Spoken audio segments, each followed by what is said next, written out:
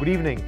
I want to thank the Minjar team for organizing this gathering uh, in Bangalore at the ITC uh, under the Cloud Summit.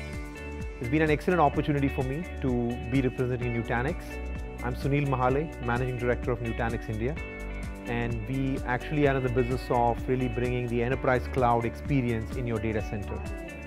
Uh, this couldn't have been coming at an opportune time than what it is now because the entire story in India is really progressing and transforming from customers looking at options on either deploying cloud or cloud-like technology in your data center.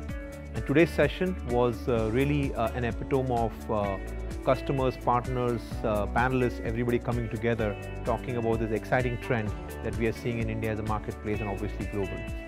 Again, it was absolute pleasure to be here. Um, we hosted a couple of panels, heard Jyoti, Ankur, all the executives talk about the trends, the focus on the cloud and cloud industry in general and couldn't have been more excited to be a part of this panel. So again, thank you so much uh, for giving us the opportunity to be a part of this uh, panel today at, at the Cloud Summit. Thank you.